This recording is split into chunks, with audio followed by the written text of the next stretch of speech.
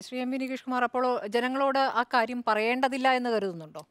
എന്താ ഇപ്പൊ സുജിയ ഇപ്പൊ കുറേ കാര്യങ്ങൾ പറഞ്ഞു. എന്താ സുജിയ ഉന്നയിച്ച ആക്ഷേപം എന്താ? ഇതുമായി ബന്ധപ്പെട്ട് ഈ സർക്കുലറുമായി ബന്ധപ്പെട്ട് സുജിയുടെ സംശയം എന്താണ്? എനിക്ക് അക്കാര്യത്തിലൊരു ഒരു ഒരു ഒരു ഒരു. ഒരു പ്രേക്ഷകന്റെ സംശയമാണ് ശരി. ഒന്നാമത്തേത് കൂപ്പൺ വെച്ചോ രസീത് നൽകിയോ പണപ്പിരിവ് പാടില്ല എന്ന ഒരു നിബന്ധന എന്തിനാണ്? അതെ. ഇതാണല്ലോ പ്രശ്നം അല്ലേ? ഒന്ന് ഒന്നാമത്തെ പ്രശ്നം അതാണ്. അതാണ്. അപ്പോൾ ഒന്നാമത്തെ പ്രശ്നത്തിൽ നോക്കൂ അതാണ് ഞാൻ നേരത്തെ വായിച്ചത്. ഇനി ഒരിക്കൽ കൂടി അത് വായിക്കേണ്ട.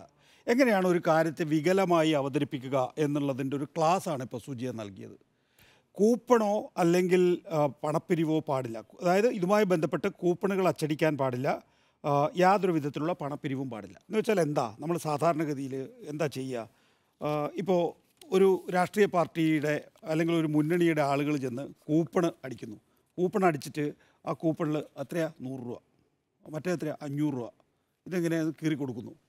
ഈ പരിപാടി പറ്റില്ല എന്നാണ് പറഞ്ഞിട്ടുള്ളത്. അതേസമയം തന്നെ ജില്ലാ ഭരണകൂടങ്ങൾക്ക് ജില്ലാ ഭരണകൂടം എന്ന് പറയുന്നത് എന്താണ്? ജില്ലാ ഭരണകൂടം എന്ന് പറഞ്ഞാൽ സർക്കാരിന്റെ ആ ജില്ലയിലെ സംവിധാനമാണ്. ആ ജില്ലാ ഭരണകൂടങ്ങൾക്ക് സ്പോൺസർമാരെ കണ്ടെത്തിയും പരസ്യത്തിലൂടെയും പണം സമാഹരിക്കാവുന്നതാണ്. ഈ സ്പോൺസർമാരിലൂടെയും പരസ്യത്തിലൂടെയും പണം സമാഹരിക്കുന്നതിന് കണക്കുണ്ടാകില്ല എന്നാണോ സുജിയ പാർവതി മനസ്സിലാക്കി അങ്ങനെയാണോ മനസ്സിലാക്കി വെച്ചിരിക്കുന്നത്? അങ്ങനെയാണോ മനസ്സിലാക്കി വെച്ചത് ഞാൻ ഒരു ചോദ്യം എന്നോട് ഇങ്ങോട്ട് ചോദിച്ചു. ഞാൻ അങ്ങോട്ട് ഞാൻ അങ്ങോട്ട് പറയാണ്. അതായത് ഈ പറയുന്ന സ്പോൺസർമാരെ കണ്ടെത്തിയും പരസ്യത്തിലൂടെയും പണം സമാഹരിക്കുമ്പോൾ അത് കുറേ പണം അങ്ങനെ കൊണ്ടുപോയി ജില്ലാ ഭരണകൂടത്തെ ഏൽപ്പിക്കലാണോ? അല്ല സർ ഡിജിറ്റൽ കണക്കുണ്ടാവോ? ട്രാൻസാക്ഷൻ ഡിജിറ്റൽ ട്രാൻസാക്ഷൻ ആയിരിക്കും. കണക്കുണ്ടാവോ ഇല്ലയോ? സർ കണക്കിൽ സർ ഞാൻ ചോദിക്കട്ടെ. കണക്കിൽ പെടാതെ സംഭാവന സ്വീകരിച്ചതിന്റെ ഒരു കേസ് അല്ലെങ്കിൽ ആ ഒരു ഇന്റർനെറ്റ് സെറ്റിൽമെന്റ് ബോർഡിന്റെ ഒരു വിധിയിലെ കുറച്ച് പേജുകൾ നമ്മുടെ മുന്നിലുണ്ടല്ലോ. നിങ്ങൾ ഒരു ഒരു ഒരു ഒരു സർക്കാർ ഉത്തരവിന്റെ പുറത്ത്. എന്തോ കുറെ മാലിന്യം അവിടെ നിന്ന് ഇവിടെ നിന്നൊക്കെ വലിച്ചു ഇവിടെ ഒരു കൊണ്ടുവരും. മാലിന്യമല്ല, ഒരു മുമ്പിലായി. മാലിന്യമല്ല. നിങ്ങളോട് നിങ്ങളോട് നിങ്ങളോട് നിങ്ങളുടെ ആശയക്കുഴപ്പം എന്താണ് എന്നാണ് ഞാൻ ചോദിച്ചത് ആ ആശയക്കുഴപ്പം ആ ആശയക്കുഴപ്പത്തിൽ ഇതാ ജില്ലാ ഭരണകൂടങ്ങൾക്ക് സ്പോൺസർമാരെ അവതരിപ്പിച്ചത്? പരസ്യത്തിലൂടെയും പണം സമാഹരിക്കാവുന്നതാണ് എവിടെയാണ് എന്ന് പറഞ്ഞാൽ അവതരിപ്പിച്ചത്? ഞാൻ പറഞ്ഞ അതേ വാചകമാണ് അങ്ങ് അതെ വായിച്ചത്. അതെങ്ങനെയാണ് കണക്കില്ലാത്തതാവുക കണക്കുണ്ടാകണം ആരിൽ നിന്നാണ് സംഭാവന സ്വീകരിക്കുന്നത് അത് ഏത് മുതലാളിയാണ് ക്വാറി മുതലാളിയാണോ കണക്ക് ആ കണക്കിന് ആ കണക്കിന് കൃത്യമായ മാനദണ്ഡം നിശ്ചയിക്കുകയാണ് അത് ഒരു ഒരു റെസീറ്റ് കുറ്റി അച്ചടിച്ച് കുറെ ആളുകൾക്ക് പണം പിരിവ് നടത്താനുള്ള കുറെ- ഏർപ്പാടാക്കി മാറ്റാൻ പാടില്ല എന്നാണ് ഈ സർക്കുലറിലൂടെ സംശയം സംശയം തീർന്നില്ല. കുറെ. കുറെ ആളുകൾ കുറെ പിരിക്കുകയല്ലോ പിരിക്കാൻ നിർദ്ദേശിക്കുന്നത്. അതെ ജില്ലാ ഭരണകൂടം. ഈ ജില്ലാ ഭരണകൂടം എന്ന് പറയുമ്പോൾ ജില്ലാ കളക്ടർമാർ അടക്കമുള്ളവരാണല്ലോ. കളക്ടർമാർ പലയിടത്തും അവർക്ക് പേര് വിവരങ്ങൾ പുറത്തു പറയാൻ പറ്റില്ല. അവർ പറയുന്നതാണ് ക്വാറി ഉടമകളെ സമീപിക്കുക. എവിടെന്നെങ്കിലും പൈസ കൊണ്ടുവന്നോളൂ. എവിടെന്നെങ്കിലും? കാര്യം നടത്തും ആര് ഇതാണ്. നിങ്ങൾക്ക് റെസിപ്റ്റിന്റെ രേഖ കാണിക്കാൻ പറ്റില്ല. ഇതിൽ ഈ കളക്ടർ പേര് നിങ്ങൾ പറയുക?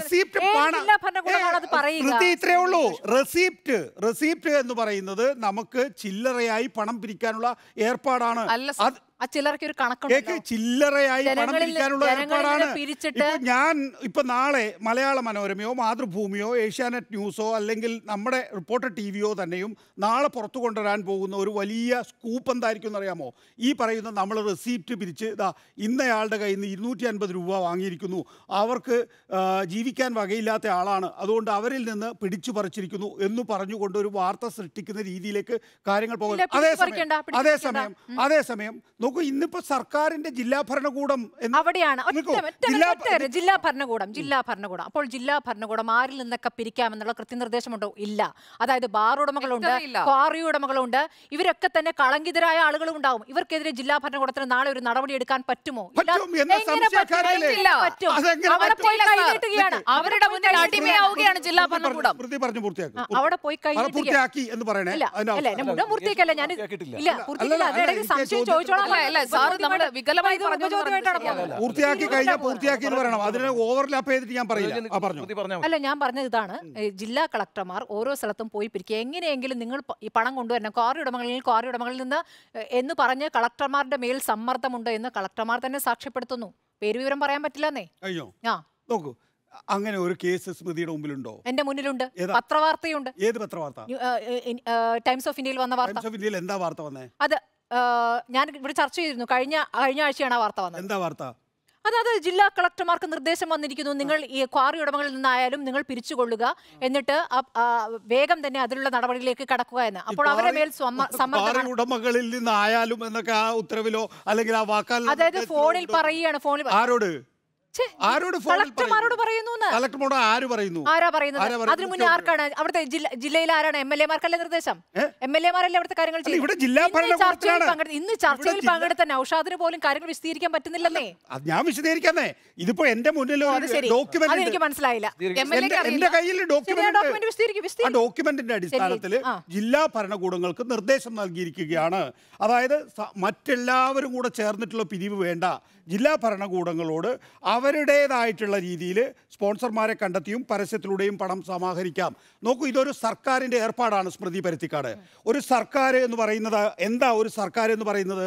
സർക്കാർ എന്ന് പറയുന്നത് ഒന്നര ലക്ഷം കോടി രൂപ സമ്പദ് വ്യവസ്ഥ. അതായത് സാധാരണഗതിയിൽ ചെലവഴിക്കാൻ വേണ്ടി നമുക്ക് ബജറ്റിൽ നിർദ്ദേശിക്കാൻ കഴിയുന്നുണ്ട് ഒന്നര ലക്ഷം കോടി രൂപ. ആ ഒന്നര ലക്ഷം കോടി രൂപയിൽ നമ്മൾ ശമ്പളത്തിന് മാത്രം ചെലവഴിക്കുന്നത് എത്രയാണെന്നറിയാമോ? ഏതാണ്ട് നാൽപ്പത് നാൽപ്പത്തിരണ്ട് ശതമാനമാണ്. നമ്മുടെ റവന്യൂ എക്സ്പെൻഡിച്ചർ എന്താണെന്നറിയോ? ഭരണ നിർവഹണം മുന്നോട്ട് കൊണ്ടുപോകാനുള്ള നമ്മുടെ ചെലവുകൾ എന്ന് പറയുന്നത് എഴുപത് എഴുപത്തിരണ്ട് ശതമാനമാണ്. ഈ ഒന്നര ലക്ഷം കോടിയുടെ എഴുപത് എഴുപത്തിരണ്ട് ശതമാനം ചെലവഴിച്ചിട്ടാണ് നമ്മൾ ഒരു സംസ്ഥാനത്തെ മുന്നോട്ട് കൊണ്ടുപോകുന്നത്. അത് തിരുവനന്തപുരത്ത് സെക്രട്ടേറിയറ്റിൽ നിന്നുകൊണ്ട് മാത്രമാകരുത് എന്ന് ഈ സർക്കാർ തീരുമാനിക്കുന്നു. ഓരോ നിയമസഭാ മണ്ഡലത്തിലേക്കും ഈ ക്യാബിനറ്റ് എത്തിച്ചേരുകയാണ്. അവിടെ മുഖ്യമന്ത്രിയും ഇരുപത് മന്ത്രിമാരും അവിടെ ആവശ്യമായിട്ടുള്ള വകുപ്പ് തലവന്മാരും എത്തിച്ചേരുകയാണ്. അപ്പോൾ ആളുകൾ നേരത്തെ ഇത് ജില്ലാ തലത്തിൽ നടന്നിട്ടുണ്ട് അതിനു മുമ്പ് താലൂക്ക് തലത്തിൽ നടന്നിട്ടുണ്ട് പിന്നീട് മേഖലാ തലത്തിൽ നടന്നു. ഇപ്പോൾ സംസ്ഥാന തലത്തിൽ തന്നെ നടക്കുകയാണ്. അങ്ങനെ സംസ്ഥാന തലത്തിൽ വരെ നടക്കുന്ന രീതിയിൽ ക്യാബിനറ്റ് ജനങ്ങളിലേക്ക് നേരിട്ടെത്തുന്ന രീതിയിലുള്ള ഒരു പുതിയ രീതി അവലംബിക്കുകയാണ്. അവിടെ എന്താ ചെയ്യാത്ത? ഇനി എല്ലാ സർക്കാരുമായി ബന്ധപ്പെട്ട എല്ലാ കാര്യങ്ങളും അവിടെ ചെയ്യുന്നേ. അവിടെ ഇപ്പോൾ രാവിലെ പ്രഭാത ഭക്ഷണ പരിപാടി അതിനുശേഷം ഈ പറയുന്ന രീതിയിൽ മുഖ്യാതിഥികളുമായിട്ട് സംസാരിക്കുന്നു അല്ലെങ്കിൽ പൗരപ്രമുഖരുമായിട്ട് സംസാരിക്കുന്നു വാർത്താലേഖകരോട് സംസാരിക്കുന്നു രാവിലെ ഒരു നിയമസഭാ മണ്ഡലത്തിലെത്തുന്നു. ആ നിയമസഭാ മണ്ഡലത്തിലെ പ്രശ്നങ്ങൾ എന്താണ് എന്നുള്ള കാര്യം ഒരു ഒരു പരിശോധന നടത്തുന്നു. പരാതി അങ്ങോട്ടേക്ക് കൊടുക്കാം. ആ പരാതിക്ക് പരിഹാരം ഉണ്ടാക്കുവാൻ കഴിയുമോ എന്ന് നോക്കും. അത് കഴിഞ്ഞ് മൂന്ന് നിയമസഭാ മണ്ഡലത്തിലേക്ക് പോകും. മുപ്പത്തി ആറ് മൺ ദിവസമായി തുടർച്ചയായി സംസ്ഥാന സർക്കാർ ക്യാബിനറ്റ് ഇതാ നേരിട്ട് ജനങ്ങളിലേക്ക് ചെല്ലുകയാണ്. അവിടെയാണ് നിങ്ങളെ സംബന്ധിച്ചിടത്തോളം ഉള്ള പ്രശ്നം. എന്താണ്? ഇത് എന്താ പിരിവ് നടത്തുമ്പോൾ കൂപ്പൺ ഇല്ല അല്ലെങ്കിൽ റെസീറ്റ് ഇല്ല എന്ന ആക്ഷേപം ഉയർത്താണ് ഈ സർക്കുലറിൽ അതില്ല. അതുകൊണ്ടാണ് പറഞ്ഞത്. വികലമായി ഒരു വിഷയത്തെ എങ്ങനെ അവതരിപ്പിക്കാം എന്നതിന്റെ ക്ലാസ് ആണ് ഞാൻ സുജിയ പാർവതിയിൽ കണ്ടത് എന്ന് ഞാൻ പറയാനുള്ള സർ ഞാൻ കാരണം എവിടെയാണ് വികലമാക്കിയത്. പ്രേക്ഷകരെ തെറ്റിദ്ധരിപ്പിക്കരുത്. ഒരു മിനിറ്റ് പ്രേക്ഷകരെ തെറ്റിദ്ധരിക്കരുത് എന്താണ്? എവിടെയാണ് ഞാൻ പറഞ്ഞത് തന്നെ. വികലമാക്കിയത്? സുജിയ ഞാൻ എവിടെയാണ് വികലമാക്കിയത്? പറയുന്നത്- ഇത് ഇതിപ്പോ റെസീറ്റ് ഇല്ലാത്ത രീതിയിലുള്ള പണപ്പിരിവാണ് എന്നാണ്. സാർ കൃത്യമായി റെസീറ്റ് അക്കൗണ്ട് ഇല്ലാതെ കൃത്യമായി- പണപ്പിരിവ് എന്ന നിലയിൽ ജില്ലാ കളക്ടർമാരെയും ജില്ലാ ഭരണകൂടത്തെയും ഉത്തരവാദിത്തോടു കൂടി ഒരു സർക്കാർ ഏൽപ്പിച്ചു കൊടുക്കുകയാണ്. ഇതെല്ലാവരും കൂടെ പിടിക്കേണ്ട കാര്യമല്ല. പണം പിരിച്ചിട്ടല്ല സാർ. നവകേരള സദസ്. കളങ്കിതര്? അത് ജനങ്ങൾക്കറിയാം. ആരിൽ നിന്നും വെച്ചാൽ പിരിച്ചോളൂ. പണമുള്ളവരെ ഇപ്പൊ പണമുള്ളവരെ എന്ന് തന്നെ- നിങ്ങൾ നിങ്ങളിപ്പോ തന്നെ ഒരു പെർസെപ്ഷൻ ഉണ്ടാക്കാൻ നോക്കുകയാണ്. ആ പെർസെപ്ഷനിലൂടെ നമ്മളെല്ലാം സഞ്ചരിക്കണം പൊതുമണ്ഡലത്തിലുണ്ട്.